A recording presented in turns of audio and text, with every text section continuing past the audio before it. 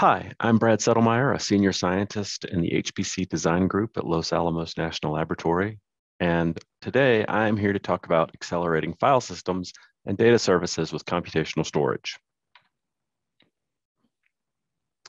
Um, so I kind of want to have two major topics today. Uh, the first is why computational storage. And the second half of the talk, we'll talk about um, how to apply computational storage, or at least how LANL is applying computational storage um, and achieving what we think are some pretty important gains in our storage system designs. Um, but the first thing we want to talk about is what, what's changed to make computational storage relevant today. And so the first thing I want to talk about is the type of scaling that we're most interesting interested in, in within the HPC community. Um, there's basically, as far as we're concerned, two types of scaling: strong scaling and weak scaling. And weak scaling is the notion that as you um, as you add hardware, you also add work. Um, and so you get more throughput by adding more work or adding more hardware, but also adding more work. Um, and while that's interesting um, and, and a very useful capacity computing paradigm, in general within HPC, we're actually far more uh, interested in purely accelerating the time to insight. So we don't want to increase the size of the problem. We just want to take a fixed size problem and solve it more quickly. Um, and so the quickest way to think about this from a storage context is, what if I want to store a 100 gigabyte file as quickly as possible? And it doesn't need to be 100 gigabytes. It can be a terabyte, an exabyte, well, not an exabyte, a terabyte, a petabyte, whatever it needs to be. Um, and you just want to write it out as quickly as possible. So a 100 gigabyte file, I want to write it in, you know, just a few fractions of a second. Um, and what you do is you try and start adding hardware to this is, you know, you start adding disk drives in. You're like, all right, I'm gonna take a couple thousand disk drives. I'm gonna write this 100 gigabyte file out as quickly as possible. Um, eventually, you'll stop improving performance. You'll run out of uh, you'll run out of the ability to to overcome the latency, the the layout and latency bounds that exist within uh, spinning hard disk drives. So you say, okay, well, I'm just going to put in NVMe SSDs. And what you'll find is, yep, you can go really fast um, right up until you run out of your host memory bandwidth. And once you're out of your host memory bandwidth, you just can't go any faster than that, uh, no matter how many SSDs you add. And so this is kind of a microcosm of the problem that we see with trying to design storage systems to support strong scaling. Um, and so what we've done is we've kind of looked to what the processor vendors have done. Um, and so the processor vendors um, you know, since the early 2000s, there hasn't really been much in the way of frequency increases. Cores aren't really getting faster. And so uh, the processor vendors have been stamping out more and more cores on a die. However, every once in a while, there's been these really nice one-time step functions. Um, and so one of them is the move from off-package memory to on-package memory, right? DDR to something like HBM. And this, you know, moves you from a few hundred gigabytes per second of memory bandwidth up to a terabyte per second of memory bandwidth. So quite a quite a substantial increase. Now it's a one-time function, right? You only get this improvement once. Of course, you can find enough of these one-time functions, you're actually talking about some really um, substantial improvements in performance. Um, the other major uh, advancement we've seen here recently, and we'll talk a lot more about this, um, is specialized processing units. Um, and so in a, in a traditional, you know, um, high IPC server processor, you might think about something like AVX 512, or you might think about, you know, a better um, a better transcoding unit, a set of specialized instructions that'll unlock a piece of hardware that is just well tuned to achieve this particular workload. Um, and so now that begins to make us think about computational storage. Um, so computational storage, can it be one of these one-time lift ups? You know, it's it, sure, it's not great that we're only going to have one-time lift ups, but can it be one of these step functions that takes us up in performance for our storage systems? And of course, um, in many ways, I think it might be several step functions, and I'll talk more about that as we get going. So real quickly, you know, what are the three basic architectures for computational storage? Um, we have kind of three basic designs. Um, on the left, we have the computational storage device. Um, so this is where you have the kind of the simplest, most traditional computational storage um, architecture. And you have a processor effectively on a drive. Um, and this has been called active storage in the past. Um, and this is super beneficial whenever you can actually interpret the data that's on the drive. So you, you, you have semantic knowledge about the data that's on a drive. But of course, that's very difficult to do with a block device where any particular block may have an extent of data, or maybe it's got a metadata block and just some pointers that point to somewhere in the B tree. Um, and so this can be a difficult architecture to use with just a, with a traditional block device. Um, an alternative architecture um, that matches that paradigm a little bit better is the computational storage processor. Um, and so in this picture, I just show a, an example of some kind of compute that's uh, attached to the same bus as the drive. And you might think, well, you know, what's the benefit of putting, you know, another server processor out there on the, the data path? And if that's what you did, there probably would be no benefit. But of course, what you can do is you can put specialized processors that maybe can do some of the functions that are really kind of unique and can be well accelerated for storage. Um, and the third and uh, kind of a little bit of a controversy, uh, controversial architecture is the computational storage array. And this is the one that we're most interested right now at LANL. Um, and I kind of like that it's a little bit amorphous and not as well defined as the other two. Um, and this is where you have a blending of compute and storage together kind of in a unit. And you can kind of stamp out um, in a fixed ratio your compute and uh, your storage, and you can kind of uh, stamp this out in a way that uh, allows you to make this a fundamental building block of your file system. Um, and so we're very interested in this architecture. Um, we've looked a lot at all three architectures, and in fact, we're using all three architectures, um, kind of depending on what kind of use cases we have. We'll talk a little bit about that at the very end as well. Um, Okay, so why do I say that we need computational storage and computational storage is a conceivable step function? So um, like most of the like most of the changes we make at LANL, it's data driven. Um, we always try and be data driven, data driven at our lab. Um, and so this was the data from a couple years ago that motivated us to realize we were going to have a problem with designing our NVMe file systems. Um, and in fact, we're going to need to do some degree of like kind of hardware software co-design in order to get our file systems to the performance levels that we wanted. Um, so I really like these graphs and I'm gonna kind of point at some of the lines here, but let's just start over here on the, on the left-hand side with the blue graph.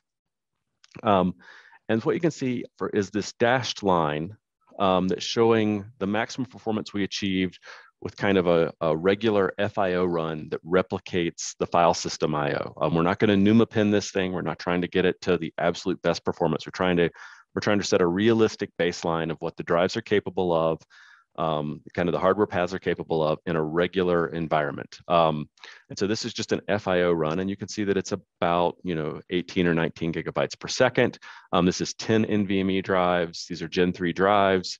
Um, and so uh, we consider that okay performance. There's a little bit that's you know not not not available there. These these drives are capable of about two and a half gigabytes per second, a little bit less than two and a half gigabytes per second. So we're leaving a little bit of efficiency on the floor and if we NUMA pin that, we could probably get a, a, a, bit more of it. The hardware paths are a little bit hard to work on this. Um, the other thing you'll notice is that this is an Intel Platinum server. So this is really not a dedicated storage server, but it has a ton of processing power. So this is this is kind of a really fast processing power. You would never actually use this in a storage system. Um, but you'll, as we kind of move through these graphs, you'll see why we went back at the very end and put this on a very high-end server um, to see what's happening. So this dark graph is a regular ZFS run with just checksums enabled. So we have 10 drives, they're set up in a striped Z pool and we're writing data across all 10 of those drives. Um, and you can see that we get pretty close to that FIO performance. We're feeling pretty good about this, you know, out here at 28 or 32 threads with 10 drives. Um, you can see that we're, we're, you know, within 10% really. We're at, you know, 17 gigabytes per second or, or it's really closer to 18 gigabytes per second here that you can see on this dark blue line. Um, what's interesting are the two lighter blue lines beneath it. Um, and so what you can see is uh, we're now going to take those same exact 10 drives and we're going to shift them into what in ZFS is called a RAID Z1, so nine plus one. Um, and what we're going to see, we should expect to see a 10% performance drop, right? We're generating 10% more data for one of the drives, or 10% uh, of the data is now going to be parity data, so that doesn't really count towards our user base uh, throughput. Um, so we should see a 10% drop in performance. What we in fact see is something closer to like a 30% drop in performance here. I mean, as you look at these lines, you can see that the performance has dropped a good bit. Um, and so, you know, you, you, begin to think to yourself, well, this is an Intel Platinum, but maybe we're somehow out of CPU. We're having to do all this additional um, erasure coding work. We're having to calculate this first parity code, this first Reed-Solomon code. Um, so maybe that's what's that's what the issue is. Um, but then you look at the next line down, which is RAID Z2. So this is now an 8 plus 2 configuration. So now we're down 20%. And you see that, in fact, the performance didn't change at all. Now, here I've asserted earlier in the talk that these server processors are not going to be efficient for I.O. And yet, clearly, the server processor can generate the erasure codes at the rate that we need. So, what in the world am I talking about? Why is this man saying crazy stuff? Um, so now let's move to the middle graph. Um, so now what we're going to change, um, we're going to move to the to one of the original platforms we actually really noticed this on. So this is going to be a much simpler single socket, um, second generation AMD processor. You may know it by its code name Rome. It's got a very flat PCIe layout on this motherboard. It's a very nice motherboard for storage, 24 slots in the back or 24 slots in the front. Um, network in the back so we can build a distributed uh, file system server out of this thing very, very easily.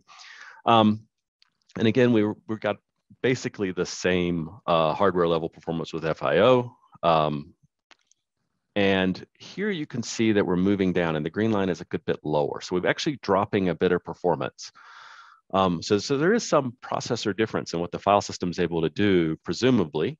Um, don't want to make too strong a statement about that. Um, but again, we can see that these two lighter colored green lines, the eight plus one and the, or sorry, the nine plus one and the eight plus two, the performance is the same, but it's again, far, far lower. It's not just off by 10%.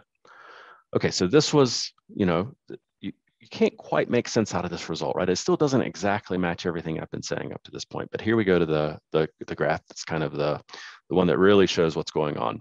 Um, so this is a first generation AMD, uh, what was called a Naples. Um, and here you can see the performance is A, far lower, and B, basically all centered around the same. There's, there's no processing overhead. They're just all terrible. So now what's going on? Well, let's talk about the memory bandwidth of these sockets. So in the Intel dual platinum, or yeah, the, the dual platinum system, a dual socket platinum system, we have 12 channels of memory bandwidth over here. In this single socket AMD, you know, server process, uh, storage server type architecture, we're down at eight memory channels. And then in this AMD EPYC first generation, we have eight memory channels, but as you may know, the chiplets are actually sorted so that each chiplet can only get individually two memory channels per chiplet, um, rather than having the unified architecture for the memory controller that a, that a, a Rome has.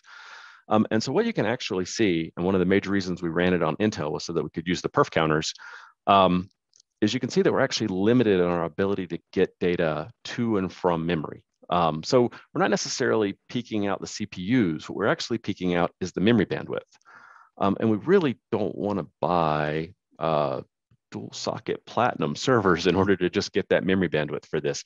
And of course, if I had put other storage functions on here, all we have is a very light load as it stands right here, checksum and erasure coding. Now those two are obviously critical for your file systems, um, but this is a very light load. If I put compression on here um, and, and, a decent compression like gzip, even in the case of this platinum, we'd actually see the performance degraded to something like two gigabytes per second. We would, we would be moving from having, you know, six devices of performance, maybe in this case, all the way down to one device of performance, despite the fact that I've got 10 devices in there. And it wouldn't matter whether I had RAID Z on or not. The compression, the Huffman table, the dynamic Huffman table would just crush our performance. The, the passes over memory and the inability to really effectively get that fit into L3 would just completely crush our performance.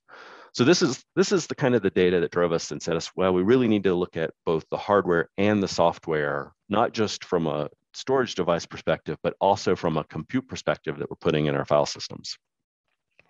And so the final kind of trend that says, you know, here's what's going on in the computational storage and it's and what's and what's important is you really see this proliferation of data processing units becoming available. Um, this is you know, you really you can't throw a rock out there right now without finding a startup that's got a new data processing unit.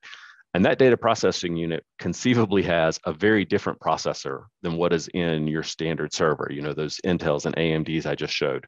Server CPUs are, you know, effectively wonders today. They're a multi-core, out of order, high IPC.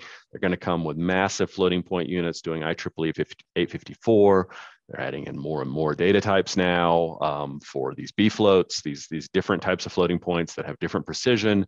Um, we're seeing you know, vector processing units, AVX512, ARM's got Neon, um, lots of lots of innovation within these processors, um, transcoding instructions.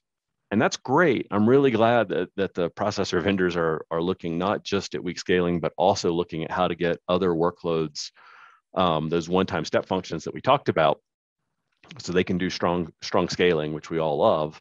Um, but whenever I'm running a server for storage, I don't really need any of that capability. Um, I mean, you know, uh, why are you going to use your floating point units? You're going to what calculate an average of a couple counters. I mean, you just don't have uh, you don't have all this capability built into your storage servers, or at least we at LANL don't. Um, and so what we really need is we really need um, to have probably smaller, kind of right-sized server processors. But what we also need are um, specialized units that are going to be good at the kind of functions that we do within file systems. Um, so slim down processing elements with higher memory bandwidth per instruction. Um, and the one thing I'll say about it is um, really the most important piece. So if, if the server processors, you know, cost zero dollars, obviously I would just put them everywhere along the storage path, but that's not really the case. They're just too complex and too expensive and too general purpose. And so instead what we're seeing is that the data, the data processing units um, are actually right sized for our calculation and the economics are very compelling. Um, and whenever you do that economic analysis, and I've talked about that in some past talks, um, you can't really just look at performance. Well, you could, um, but I wouldn't suggest it because really what you have to think about is data protection and you have to think about how much extra capacity is compression buying you. There's all these other, and you know, by reducing your, your server count and your host count uh, you know, from hundreds of servers down to tens of servers for a storage system, how much is your TCO dropping in terms of your administration costs, and how much do your your admins love you compared to how much they hated you before? Um, all these things become become relevant in that, and the economics become, at least for LANL, very compelling um, as we start to look at that. These data processing units um, can really drive um, pretty substantial savings in, in in our estimation uh, at LANL based on the pricing that we get. Obviously, your pricing may vary and the trends may change tomorrow. Um, so we don't really, you know, you always have to continue, you know, always look at your economics. That's that's part of storage system design. But as we look at it today, what computational storage looks like, it's a big win for us. Okay, so how is LANL deploying computational storage? Um, I think this is, you know, applied computational storage. It's easy to talk about, but it's hard to do. Um, and in particular, um, we have a couple high level requirements that really that really make this uh, difficult for us. And so we've had to write a little bit of code to get this to work for our file systems. And I want to talk about that little bit of code. And I want to also say that it's available for you guys to go download and use on your own. Um, so file systems at LANL, by and large, have two characteristics that, that are going to impact computational storage quite a bit. One, those file systems exist in kernel. Uh, we do run some user space kernels or sorry, some user space file systems or some file systems that run services in user space.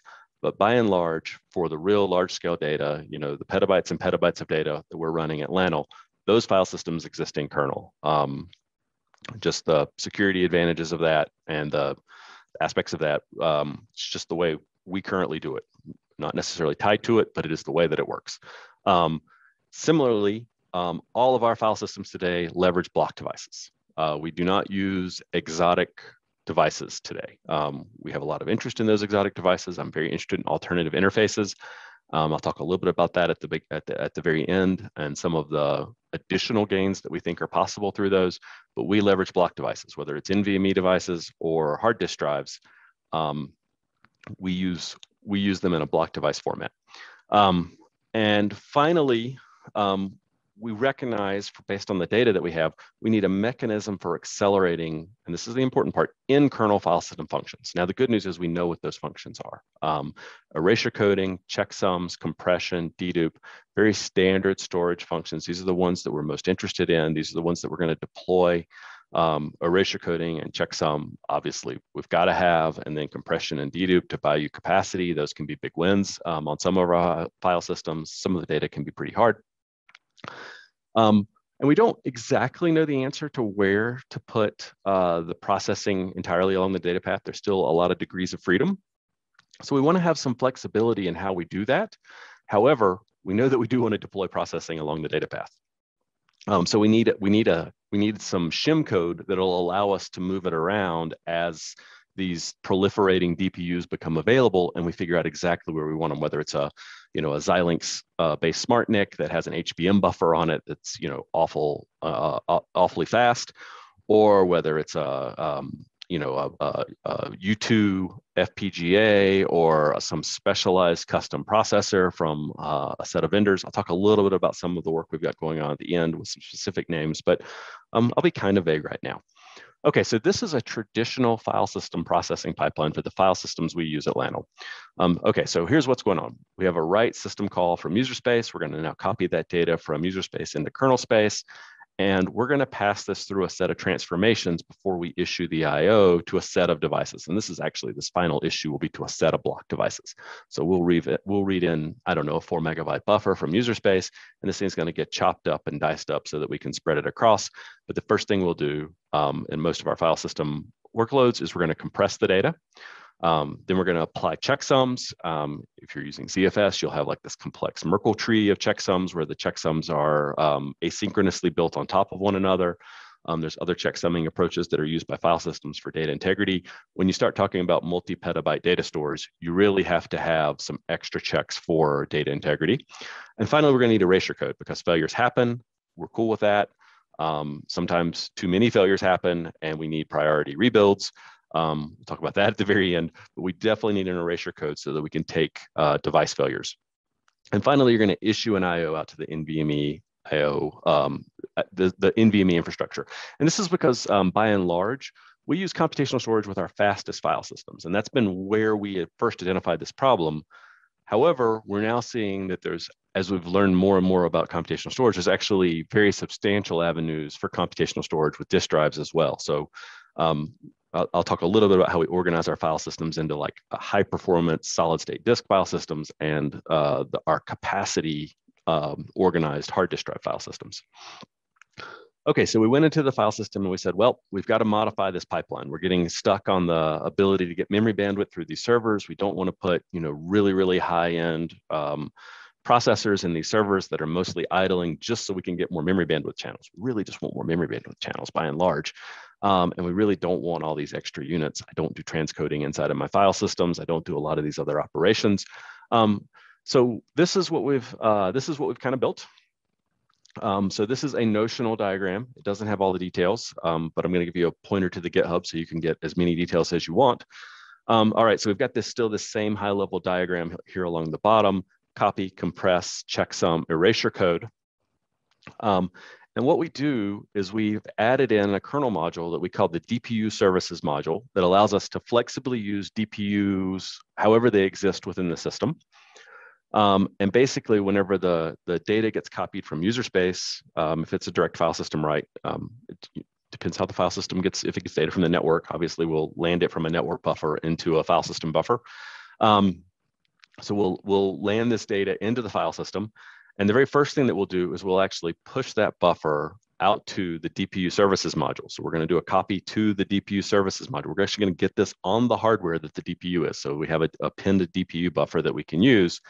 And we're now going to swizzle that pointer so that the file system now has kind of like a, a not exactly a far pointer, but um, a pointer uh, that that is a handle to a DPU buffer. Um, so where we, you've, you've now don't have the real data inside of the file system. And what you're gonna do instead is you'll now hook these calls, um, compress, checksum, erasure code, and you're gonna pass those out to the DPU and let the DPU perform those hopefully in a much more efficient manner. Um, and so it'll perform compression, it'll return control messages saying, yes, the data compressed this much, we should store the compressed version, or no, the data barely compressed, please don't store the compressed version, you're gonna get killed on the, on the decompress. Um, the checksums will be calculated. We actually take a blended approach to checksums. Some checksums we calculate on the host, some we calculate on the DPU. It very much depends. Um, we need a great deal of flexibility here. This is one of the trickier problems uh, for some of our file systems. Um, erasure coding, again, we want to do our, our Reed Solomon, maybe a Reed Solomon 2, um, you know, some kind of N plus 2 uh, erasure code protection. We want to do that again out on the DPUSM. Um, but most importantly, we want to take this last step and we're going to want to do a peer-to-peer DMA from the DPU directly to the NVMe IO. We don't really want to have the host involved in that. We want to, once we've gone to the trouble of paying to get the buffer out there, um, we want to do the, we want to issue the IO and return the control message and then return, and then, you know, tell the CPU, all right, you've got another, another buffer that you can try and reuse here and um, try and take a handle to um, as we as we do our file system. And so we we've added this shim layer of software here, this DPU SM, the DPU services module that gives us the ability to um, push push these calculations out to uh, an alternative but still in kernel processing element. Um, and this has been the this has been the piece that we needed. A lot of computational storage efforts exist in user space. There's lots of DPUs that work well in user space. We really need our DPUs to work in kernel space because we have these in kernel file systems. Um, and so this is again a very very high level diagram. Um, what you can see is you have your Linux VFS, you've got your file system underneath it, but it could be MDADM, right? There's no reason why you couldn't build an MDADM plugin that uses something like this. Um, then we have our DPU services module. This is the piece we built at LANL. Um, it's got kind of two APIs. It's got a user API that it's going to export out to the file system.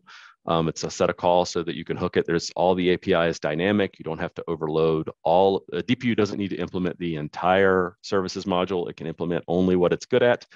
Um, and we also support reconfiguration so that you can turn operations on and off. Talk about that at the very end. That's one of the big wins that we found.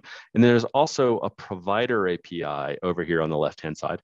Um, and that provider API um, allows people to, or DPUs, uh, vendors to plug in their own their own processing stack that'll call into their hardware in an efficient way. And of course, we've hooked, you know, an allocate buffer.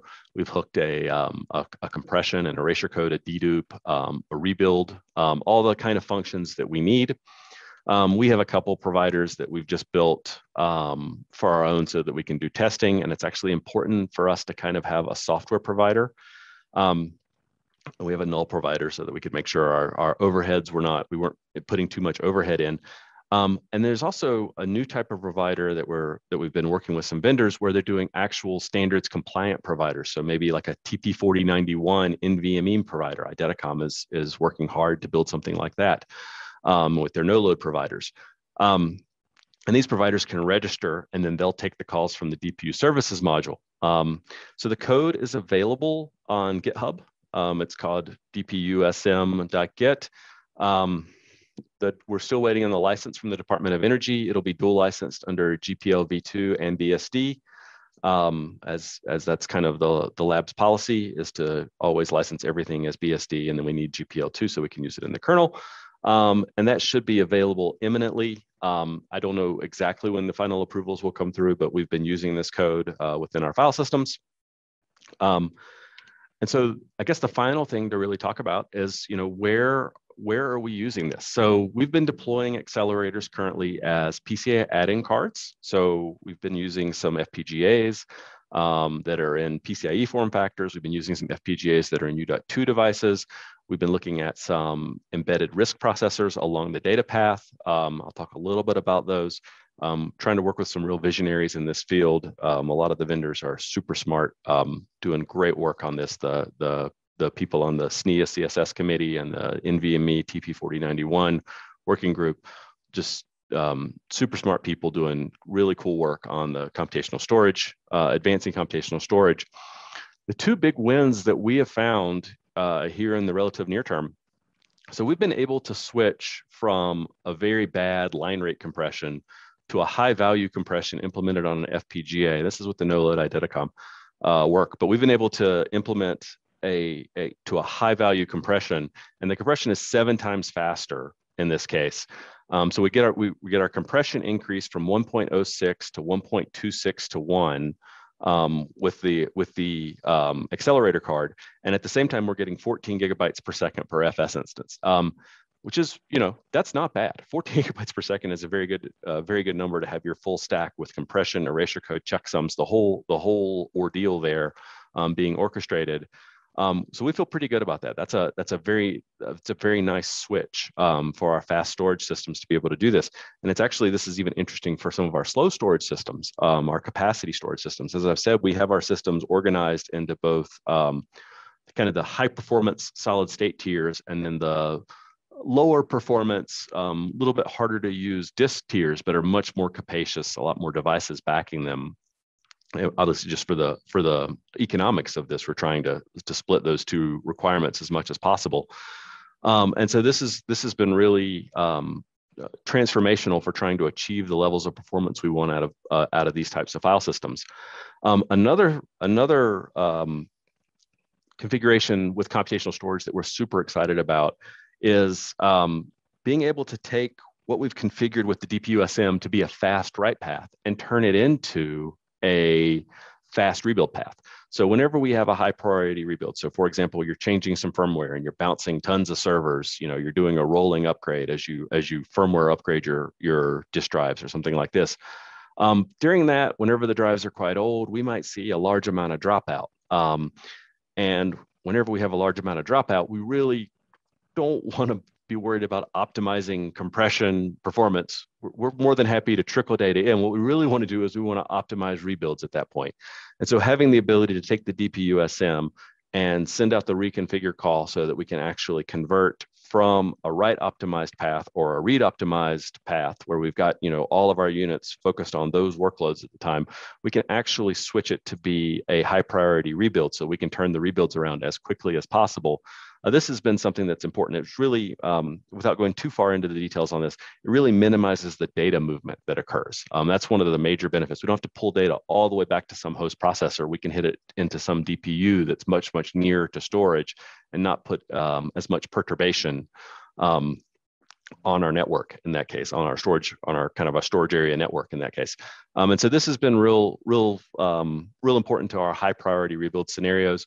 We're very interested in correlated failures. We're um, we're at the scales where we're beginning to see correlated failures within our data center, where you know um, a little bit of cooling difference left to right in our data center can be uh, can start to be enough of a, a, a, failure difference that we we we're beginning to get a little bit worried about how our data is getting laid out. And you, you, we've talked in the past about how we're looking at more and more data protection uh, scenarios and how to improve those data protection uh, calculations that we're doing. Um, and this is kind of the culmination of that work where now we can we can take that strategy and we can actually do fast rebuilds uh, using dedicated hardware. Um, so those are just two of the big gains that we've seen. Obviously, we're deploying um, we're deploying computational storage uh, currently primarily in our NVMe file systems, looking a little bit, um, beginning to explore doing this more and more with our disk file systems, in particular for that uh, priority rebuild case. Um, and one of the big things that we're doing is we're working with all these visionaries on these committees, uh, these companies, um, uh, as part of the Efficient Mission Centric Computing Consortium, EMC3 it's called. Um, this is one of the big efforts in LANL to really partner and try and advance kind of computational frontiers.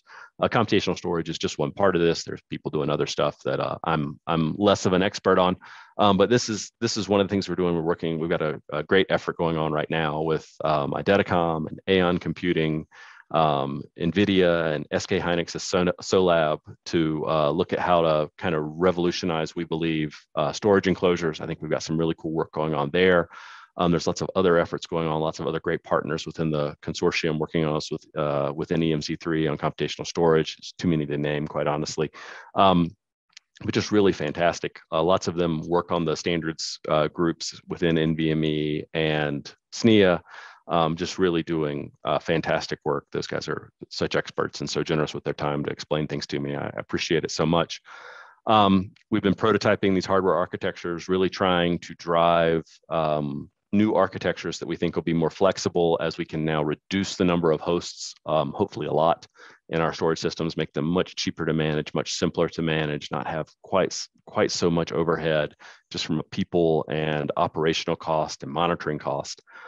Um, and where I really think where we're beginning to look now, where we've, you know, as we as we kind of we've got these block services, we're feeling very comfortable with this. We're now kind of moving much more into, all right, now let's begin to really focus about that CSD use case I talked at the beginning, where, all right, I want to be able to semantically interpret data near the device. And there's a lot of ways of accomplishing this. Um, we have two very promising approaches that we're looking into um, advanced metadata services that can tell you an awful lot about what's stored um, maybe on a device in an enclosure, um, maybe not just on your device, but on the devices near you, um, so that you can build large distributed indexes so that you can very quickly search the data.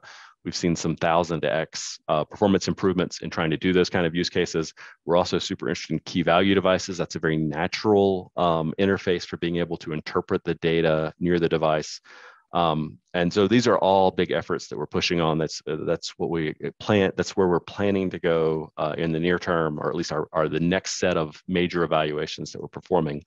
Um, so I think there's, you know, it's not just that computational storage is is useful and interesting today, but I think it also kind of opens up these new vistas of what we'll do whenever we can semantically interpret data in your device. And I don't think it'll make, you know, our file systems go away, but it'll bring new services and make them possible. Um, I'm really excited by this whole effort and really believe that um, a lot of strong scaling benefits where we are going to be able to get fixed amounts of work done much, much faster um, using computational storage and the step functions like compression and hardware accelerated analytics um, and being able to really drive those into our storage systems. So that's all I had planned to talk about. Thank you very much. I appreciate your time and your interest and uh, see you all soon.